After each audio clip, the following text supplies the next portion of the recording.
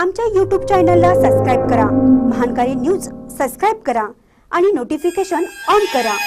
Notification on केल्यामुळे आमचे update आपल्यापर्यंत सतत पोहोचेल. शिरोळ नगरपालिकेची लवकरच आचारसंहिता लागेल आमदार उल्हासदादा पाटील. शिरोळ नगरपालिकेच्या निवडणुकीची आचारसंहिता लवकरच लागेल असं भाष्य आमदार उल्हास पाटील यांनी केलंय. आमदार उल्हास पाटील हे सरकार पक्षाचे आमदार आहेत. शिरोळ नगरपालिका मंजूर झाल्यानंतर शिरोळच्या सगळ्या ग्रामस्थांनी त्यांनीच नगरपालिका केली म्हणून त्यांना तलवार भेट देऊन गावच्या वतीनं सत्कार केला होता. आणि या समारंभाला भाजप नेते पृथ्वीराज यादव ही उपस्थित होते. आणि काँग्रेस नेते दिलीप पाटीलही. आता महत्त्वपूर्ण विधानानंतर त्यांनी मोठं योगदान केलंय.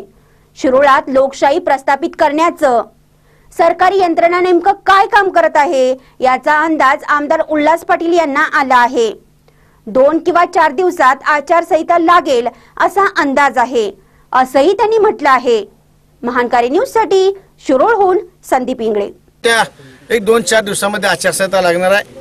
कष्टानं आपण काही कामं मंजूर करून आणली त्याच्यामध्ये आचारसंहितेचा अडथळा नको. म्हणून आपण कुठल्याही पद्धतीचा डामडौल केलेला नाही. जे काय आपले सगळे मित्र परिवार छोट्या मोठ्या सगळ्या गटातले कार्यकर्ते सगळ्यांनाच घेऊन आपण काम करायला लागलोय.